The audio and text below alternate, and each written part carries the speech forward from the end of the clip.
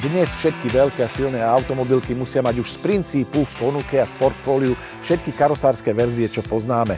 A veľmi obľúbené kupé SUV Volkswagenu doteraz chýbalo, takže bola len otázka času, kedy s takýmto autom príde. Volkswagen sa rozhodol, že ho umiestní do segmentu mestských SUV. Toto je najnovší prírastok v rodine Volkswagen, je to mestské kupé Taigo a keď sa vám zdá povedomé spredu a zozadu, tak áno, podobá sa na svojich bratov T-Roc a T-Cross, ale z boku je tá silueta už úplne iná. Skutočne jemne znižujúca sa strecha a do dĺžky je väčšie ako T-Roc aj T-Cross. A keďže je to meské kúpe SUV, tak samozrejme máme tu trošku oplastované blatníky. Keďže toto je najvyššia verzia Airline, tak aj pekné lakované doplnky, veľké 17-palcové kolesa, škoda tých fejkových koncoviek výfuku, ktoré vyzerajú trošku lacno. Čo ale Taigu rozhodne nemôžeme vyčítať je veľkosť batožného priestoru, pretože v základe je to nadštandardných 440 litrov, po sklopení operadiel zadných sedadiel až 1220 litrov a dokonca sa sem zmestila aj klasická rezerva. A každý, kto mal defekt, tak vie oceniť klasickú rezervu, keď našiel v aute len lepiacu sadu. Taigo má niektoré veci spoločné s klasickým pólom, dokonca niektoré karosárske časti, ale takmer na vlas majú rovnaký rázvor osy kolies, takže pasažieri do 185 cm celkom pohodlne sa odvezú aj na zadných sedadlách napriek zvažujúcej sa streche.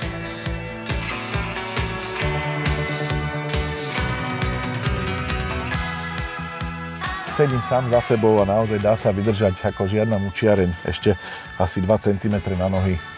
Celkom dobré. Pri malých deťoch môže byť Taigo pokojne aj rodinné auto.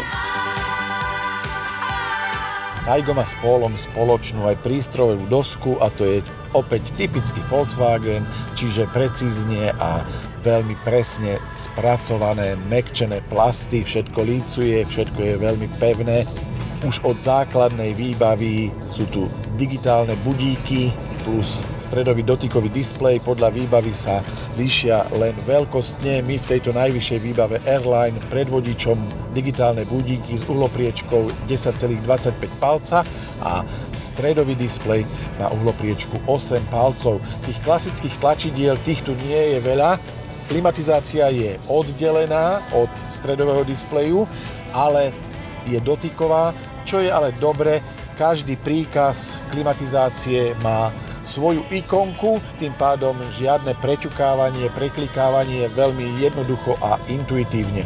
Z tých hardverových tlačidiel, čo ma potešilo, je tlačidlo vedľa voliča 7-stupňového DSG a to je vypínanie niekedy otravného štart-stop systému. A okrem klasického kľúča, čiže Taigo nie je na dotykové otváranie a na tlačidlové štartovanie, ale klasický normálny kľúč, tak ešte jedna vec je tu taká, ktorú v nových autách vidíme čoraz zriedkavejšie a to je klasická, normálna, ručná brzda. Takže mladší vodiči, ktorí budú jazdiť s Taigom a budú s nimi šiť trošku hormóny, tak naozaj sa vedia aj vyblázniť. A vyblázniť sa vedia aj s týmto najsilnejším motorom pre Taigo a to je benzínový štvorvalec s objemom 1,5 litra, ktorý má výkon 110 kW, čo je 150 koní, veľmi slušný krútiaci moment a maximálnu rýchlosť až 212 km za hodinu.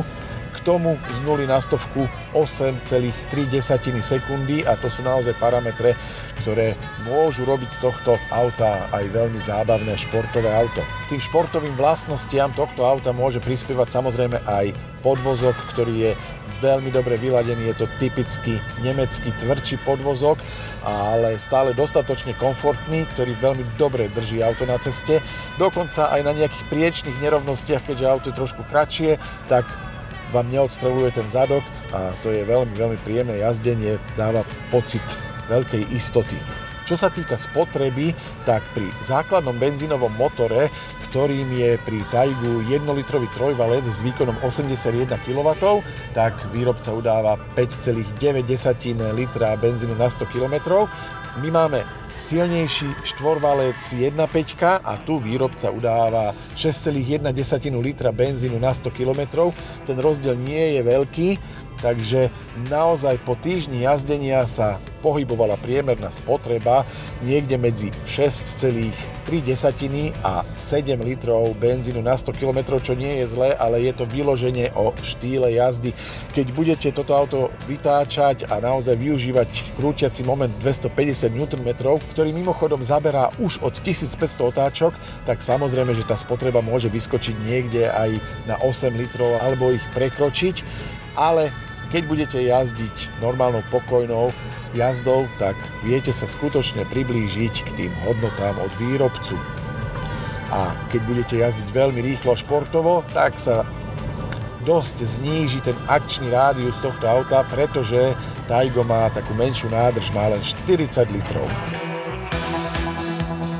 Ale k tomu športovému jazdeniu. K tomu vás bude zvádzať napríklad aj plynový pedál, ten je mimoriadne citlivý. Na ňo len trolinku zabrnkáte a to auto hneď sa, skutočne hneď sa zberá, takže niekedy sa môže stať a niekomu, čo nechce vyzerať ako veľký frajer, tak niekde na kryžovatke na semafóre sa môže stať, že sa mu tie kolesá prednej nápravy prešmiknú, pretočia, pretože naozaj ten plynový pedál je veľmi citlivý.